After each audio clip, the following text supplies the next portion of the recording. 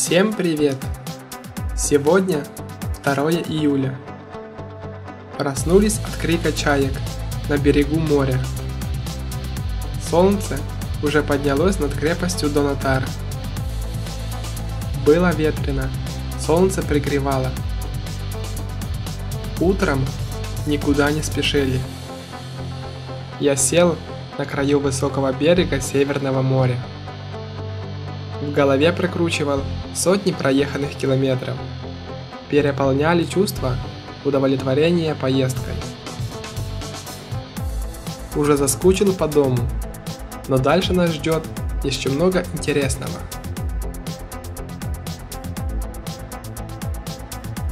Выехали с места ночевки и поехали на юг. Дорога дальше шла вдоль береговой линии. На пути встречались столетние каменные мосты и более современные произведения искусства. В один момент пошел дождь, но быстро перестал. Проезжали небольшие города. Здесь в большинстве занимаются рыболовством.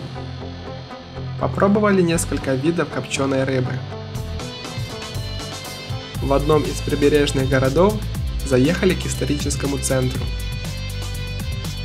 Из красного песчаника здесь было построено аббатство.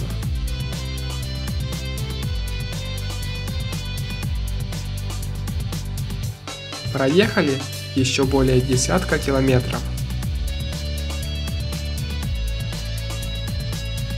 Заехали к четвертому по величине городу Шотландии –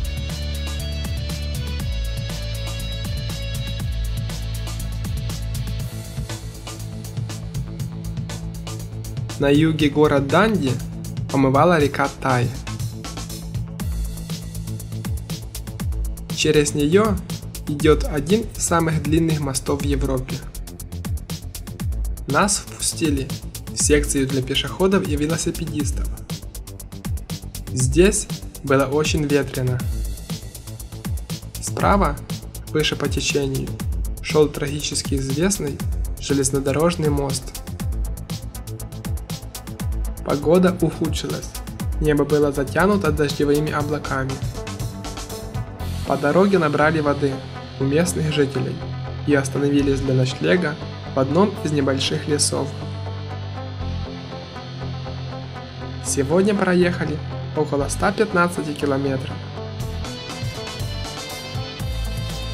Завтра в Эдинбурге нас ждет встреча с королевой.